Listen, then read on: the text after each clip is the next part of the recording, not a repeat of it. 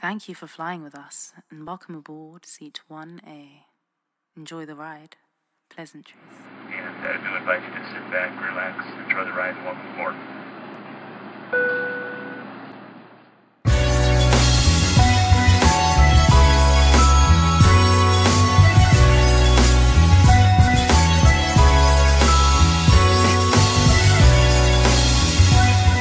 Uh, a gentleman is somebody who embodies the characteristics of a man who has etiquette, a man who um, follows the codes, codes of chivalry, and uh, he, more importantly, he treats others better than he wants to be treated.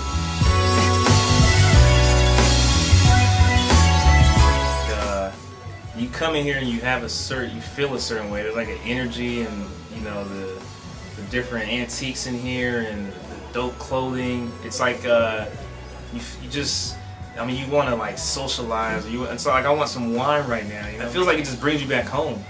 You know, like if you come in here, I feel like you'll leave not just with you know some dope clothes, smelling good, you know, looking good, some great shaving material, but you'll leave um, remembering, you know, where you came from and remembering uh, how to behave you know, because as soon as you step in here, it's like a time portal. It brings you all the way back to, you know, the 60s or the, the 40s.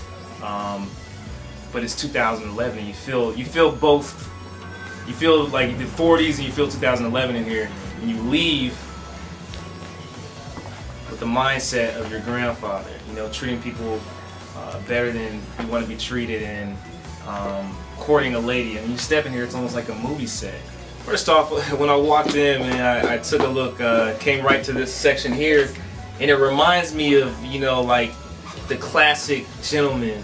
You know, my grandfather used to have these things here. I used to play with them. I didn't know what they were, you know, but this whole section just embodies my grandfather. And, and um, my grandfather completely is the person responsible for, you know, raising me and uh, teaching me about etiquette and you know that carried down into my, my parents. And the store is just so cool. I mean you have a mixture of classic and contemporary.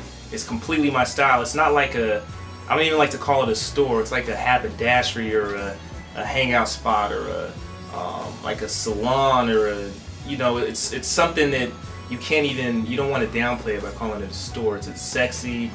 It's unique. It's cool. It's very OS.